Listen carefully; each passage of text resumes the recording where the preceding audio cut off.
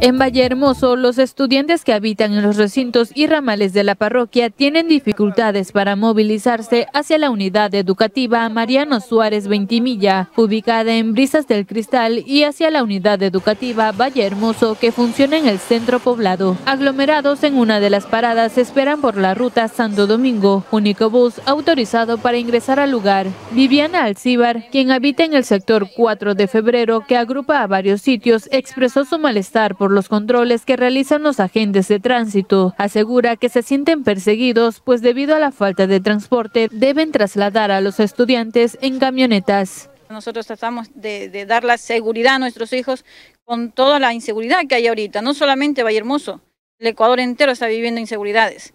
Vean, nosotros como padres venimos a nuestros hijos en las camionetas aquí, puerta del colegio y asimismo en la unidad educativa eh, Vicente Rocafuerte.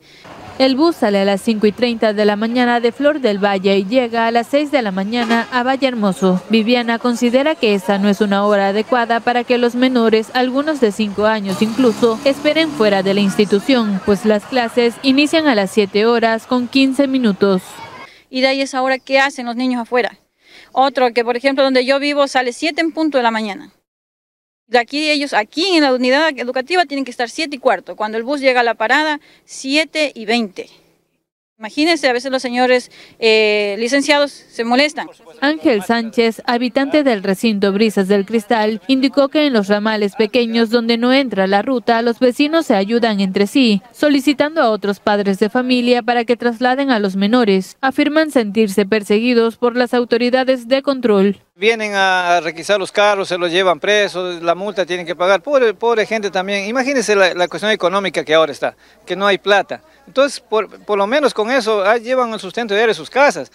La distancia entre la parada y el colegio no está cerca. Los estudiantes que salen a las 12 y 30 deben esperar casi dos horas hasta que pase la ruta, mientras que los que terminan su jornada escolar a las 13 horas 50 también deben esperar un tiempo determinado. Para Silvia Zambrano, docente de la unidad educativa Mariano Suárez Veintimilla, esto representa inseguridad para los menores, pues se exponen también a la delincuencia.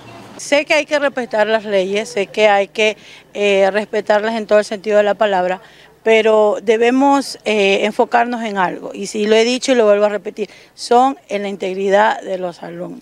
Los habitantes solicitan soluciones inmediatas a la empresa pública municipal de transporte para que permita que busetas o camionetas puedan movilizar a los estudiantes. A las 15 horas de este miércoles se tenía prevista una audiencia con el gerente de la empresa pública municipal de transporte de Santo Domingo, Héctor Fiallo, pero el funcionario no asistió por considerar que no habían las garantías para el desarrollo de la misma. Con imágenes de Jonathan Saracay, informó Jennifer Vega, Saracay Noticias.